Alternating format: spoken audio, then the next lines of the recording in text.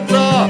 Mislio sam da će naša djeca Žive život dostojan čovjeka.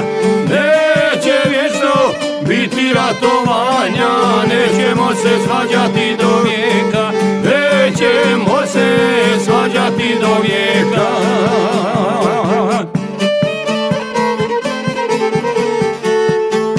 Djeda ništa nije ostavio čači, čača ništa nije ostavio meni, ni ja ništa nemam ostaviti djeci. U svakom smo ratu bili porušeni, u svakom smo ratu bili porušeni.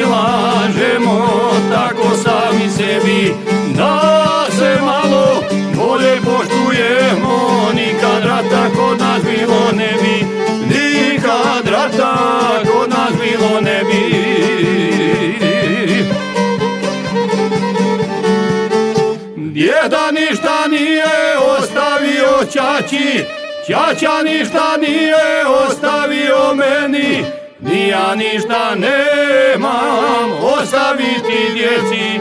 U svakom smo ratu bili porušeni, u svakom smo ratu bili porušeni.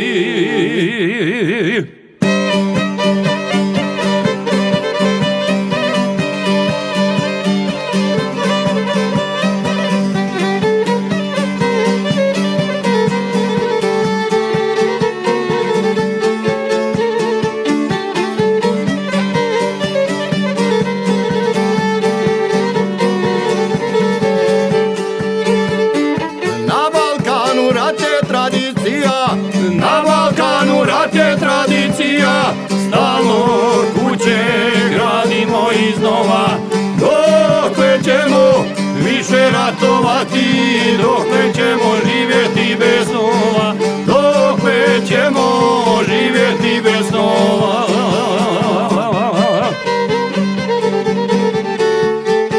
Djeda ništa nije ostavio čači, čača ništa nije ostavio meni, ni ja ništa nemam ostaviti djeci. U svakom smo ratu bili porušeni, u svakom